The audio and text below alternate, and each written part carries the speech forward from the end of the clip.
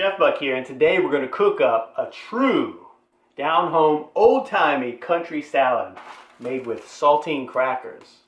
Redneck. Yeah, I got this recipe from Camera Girl's mom. We're in her kitchen right now. In fact, I just got off the phone with her mother asking her about the origin of this salad because I'd never heard of it.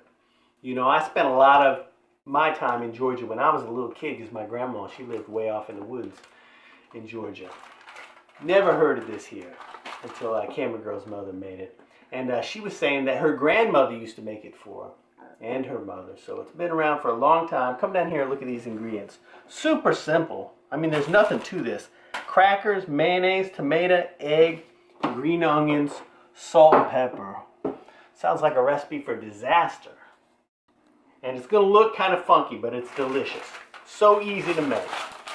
Just take a sleeve of crackers, then you just want to smash them up by hand. You don't need all the crackers, so if somebody wants to eat one, that's fine.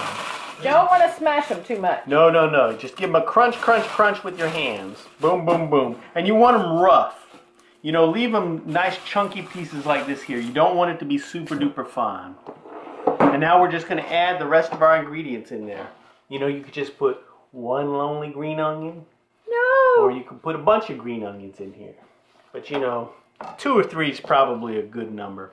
I got four here because I had to trim off a lot of the green part, which is unfortunate because I would like to have the green, you know, for a little more color. But we're just going to have to make do with that onion flavor and less color. So let's throw our onion in there. I tell you, the first time Camera Girl's uh, mom made this salad for me, I just thought it just sounded stupid. I was like, what? But it's so delicious. But you have to eat it when you make it because it doesn't hold up over time very well. Well, you got tomatoes and crackers. And mayonnaise. And I'm just going to do one egg, one boiled egg. You could do two, depending on how much you like eggs. And I'm just going to cut this up into some little chunky chunk pieces. You can add relish if you want. You can add a lot of stuff to this salad, but we're just going to do the bare bones basic. Uh, you know, I think uh, a little bit of horseradish would be good in here, or some hot sauce for a little bit of zing. Maybe some paprika or chili powder, but we're just going to do salt and pepper. Uh, but now we're going to do our tomato. I got three tomatoes right here, No. but that's probably too much. Camera Girl's right, so let's see. Let's see. We'll go ahead and get rid of this one. And then if we need it, then we will uh, use it. But uh, I got some cherry tomatoes here. I like using cherry tomatoes. Seems like cherry tomatoes have more flavor than uh, these bigger tomatoes nowadays. But I don't have enough, I don't think. So I'll just do these. Plus, there's more moisture in these big ones, and moisture with saltines. Yeah, yeah, yeah, but I don't like it too moist. I like it a little bit dry, but the mayonnaise is really going to uh, make it wet. So just give your tomato a rough chop. You could just do one. You think so? I like the tomato in it. You just want me to put half of it in here? No, it's okay. It's just sure? it really doesn't Well, here. I'll, I'll just I'll just I'll just set half of that aside. Well, what you gonna do? You can't put a tomato in the fridge and then expect Well, to no, we'll, it. we'll just eat it like that. I'll just set it aside though, and we'll see if we want to put it into the uh, salad. Now we'll throw this in here. Alrighty, Okay. now I got about a cup of mayonnaise here. You can adjust the mayonnaise to taste, and that's all there is to this. Now we just mix it up. Salt and pepper.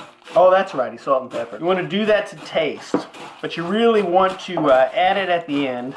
You know, give it a taste test actually before you even add the salt. Because I'm using saltines, and these are the regular salted saltines. So there might be enough salt in here already. Let me go ahead and add some pepper. And what's really great in this is cracked pepper, fresh cracked pepper. And I don't have that. Yes, you do. Do I?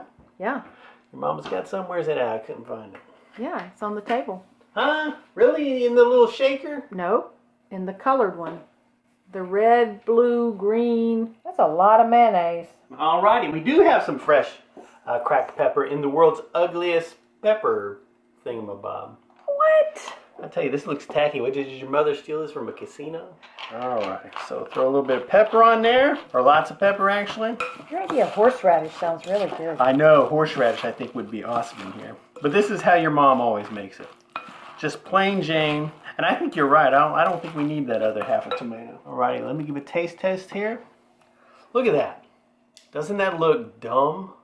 I mean, saltine crackers, mayonnaise, tomato, green onions, just like An egg. throw that in a bowl. And this is so good right now.